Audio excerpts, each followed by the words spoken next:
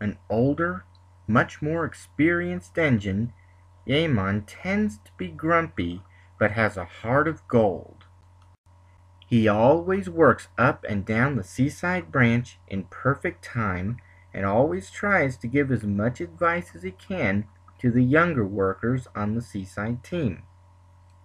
He works alongside Oliver, Duck, and Hoot and Toot on the eastern western seaside lines.